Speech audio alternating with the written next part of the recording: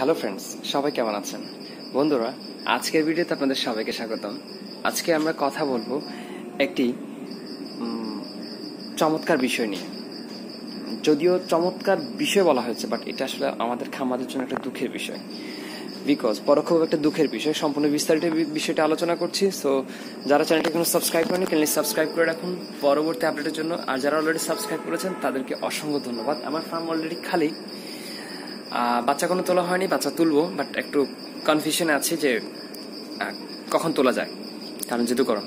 So আজকের ভিডিওর মূলটা fix হচ্ছে যে, আসলে খামারিরাই সবসময় লসের বোঝাটা বহন করে। এক্ষেত্রে ডিলার বা পাইকারি বা গাড়িওয়ালারা কোনোভাবেই এই বিষয়টা বহন করে না। বা ডিলার বা পাইকারি বা গাড়িওয়ালাদের কখনো লস হয় না। পোলট্রি সেক্টরের সরাসরি কত হচ্ছে, সব লস হচ্ছে কার? মানে টোটাল বাঙালি কত হচ্ছে, সব বাস কার?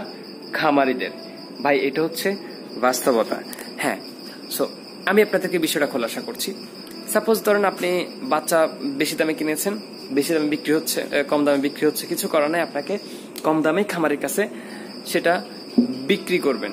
কিন্তু এতে লস কার? আপনার, আপনি দাম বেশি দিয়ে কিনেছেন, কম দামে বিক্রি করতে হচ্ছে লস আপনার। কিন্তু খামার গাড়িওয়ালা, অর্থাৎ গাড়িওয়ালা বা পাইকারি যে কোন প্রকার লস নেই বা লস হয় না। কেন? তারা যদি সাপোজ আপনার থেকে একশো টাকা করে একটা প্রোডাক্ট নিচ্ছে সাপোজ আপনার থেকে মুরগি প্রতি কেজি একশো একশো টাকা করে নিচ্ছে সে কিন্তু খুচরা দোকানদারে দিবে একশো পনেরো টাকা, নিম্নে একশো দশ টাকা। একশো দশ টাকা নিম্নে একশো পনেরো টাকা উপরে। অর্থাৎ সে প্রফিট করবে পনেরো, দশ টাকা থেকে পনেরো টাকার মধ্যে যে কোনো একটা অ্যামাউন্ট সাপোজ ধরেন পনেরো টাকা পাতেন দশ টাকা অ্যামাউন্ট তো সো সে দশ টাকা অ্যামাউন্ট যদি সে লাভ করে, এক্ষেত্রে একজন পাইকার নিম্নে দুইশো কেজি সে সেল করে দৈনিক দুশো কেজি যদি সেল করে দুইশো ইন্টু দশ, অর্থাৎ দুই হাজার টাকা সে প্রফিট করে একদিনে। তিরিশ দিনে সেটা ষাট হাজার টাকায় গিয়ে দাঁড়ায়। কিন্তু একজন খামারি কি আসলে ষাট হাজার টাকা প্রফিট করে? কখনোই না। সে ভাই, ষাট হাজার টাকা তো দূরের কথা, বিশ হাজার টাকা প্রফিট করতে তার মানে অবস্থা খারাপ হয়ে যায়। সো এই ক্ষেত্রে তারা যদি, দাম যদি কোনোভাবেই বাড়ে, দামটাও বাড়ে, আমি মনে করি সিন্ডিকেট আর ওই খামার, ইয়ার গাড়িওয়ালা আর হচ্ছে ডিলারে মিলে এই কাজটা করে থাকে। এখানে যে কোনো না ভাই কোনো না কোনো একটা সিন্ডিকেট আছে।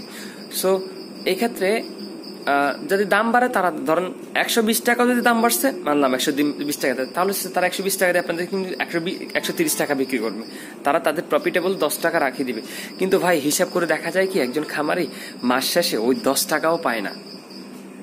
প্রতি কেজিতে ওই দশ টাকা তো দূরে তার। পাঁচ টাকাও যদি পাই, খামারে একটা প্রফিটের অংশ তার খামারিতে, অর্থাৎ তার প্রফিটের অংশের মধ্যে পড়ে। কিন্তু আসলে অ্যাকচুয়ালি সেটাও হয় না। কারণ সে তো ভাই পাঁচ টাকা পাইলে তো অনেক বেশি, সেখানে দশ টাকা পাইলে তো আরও বেশি লাভ একজন খামারের পক্ষে মাস শেষে। কিন্তু একজন পাইকার, একজন গাড়িওয়ালা কিন্তু সেটা একদিনে করে নিচ্ছে। সো এক্ষেত্রে ডিলার সে তার মতো বাচ্চা দিচ্ছে, সে তার মতো পার্সেন্টেজ দিচ্ছে খাদ্য দিচ্ছে, তার মতো পার্সেন্টেজ দিচ্ছে ওষুধ দিচ্ছে, সেখান থেকে পার্সেন্টেজ যাচ্ছে সো ডিলার কোনো লস নেই। আসুন পাইকারির বেলায়। পাইকারও সে দাম দিয়ে নিচ্ছে। তার থেকে আর দশ থেকে পনেরো টাকা বাড়তি দিয়ে সে বিক্রি করছে। দোকানদারের কাছ থেকে দোকানদার সেটা কাস্টমারের কাছে, তার থেকে দশ টাকা প্রফিট পনেরো টাকা রেখে সেটা খুচরা কাস্টমারদের কাছে বিক্রি করছে। তো এক্ষেত্রে কিন্তু তাদের কোনো লস নেই। লস টাকার খামারিদের ভাই। পুরো বাঁশ টাকার খামারিদের। মুরগি অসুস্থ হয়েছে, মুরগি মারা যাচ্ছে, খামারি বাঁশটা খাচ্ছে। তারপরে বাচ্চার দাম বেড়ে গেছে। খামারিদেরকে বেশি দামে বাচ্চা কিনতে হচ্ছে। কিছু করার নেই। এরপরে হচ্ছে আবার বাচ্চা মুরগির দাম কমে গেছে, সেখানে লস দিয়ে হলো মুরগিগুলো বিক্রি করতে হচ্ছে। কারণ ভাই, না হলে তো আবার এতগুলো মুরগি বসে বসে খাদ্য খাওয়ানোর কোনো মানেই হয় না। আবার সে আরেকটা রিস্ক তো আসলে যদি অসুস্থ হয়ে যায়, বা আরও একটা বিষয় আছে, যদি এর দাম আরও কমে যায় তখন সো তখন তো পুরো বাসটাই খাবে। সো এই হিসেব করে খামারিরা আসলে আতঙ্কে, ভয়ের মধ্যে থাকে সবসময়। আমি জানি না, আমি আমি সবসময় এটাই চাই যে এমন কিছু একটা হোক এই খামারিদের জন্য। যারা প্রান্তিক খামারি পায় তাদের লেভেলটা এত কষ্ট, তাদের এত কষ্ট, সেটা বলে বোঝানো যাবে না। সো ওই খামারিগুলো যদি টিকে থাকে, তবে আমি মনে করব যে বাংলাদেশের এই পোলট্রি শিল্পটা টিকে থাকবে। না হলে ভাই, বড় বড় আপনি কয়টা খামার দিয়ে চালাতে পারবেন? আপনি জানেন, ছোট খামারের সংখ্যা খুবই খুবই বেশি, কিন্তু বড় খামারের সংখ্যা কয়টা? ধরেন আপনাদের এই এর মধ্যে একটা বড় খামার আছে, যেটা দশ হাজার। কিন্তু এই ছোট্ট এক হাজার করে খামারি, এরকম তিরিশ হাজার খামারি আছে আপনার ওই এলাকায়। তাহলে আপনি তিরিশ জন বেশি নাকি দশ জন বেশি? ধরেন তিরিশ জন মরে গেছে আপনার। ওই তিরিশ জন খামারি নেই। আপনি কি পারবেন এই দশজন খামারে দশ হাজার খামারে দিয়ে আপনার এরিয়াটা চালাতে? কখনোই পারবেন না। সো আমি এটাই মনে করি আপনারা, আমি আপনাদেরকে আসলে এই বিষয়গুলো আমার মনে হয়েছে যে যে আসলে খামারিরাই সবচেয়ে বেশি লসে পড়ে। এক্ষেত্রে গাড়িওয়ালা বা পাইকারিওয়ালা না।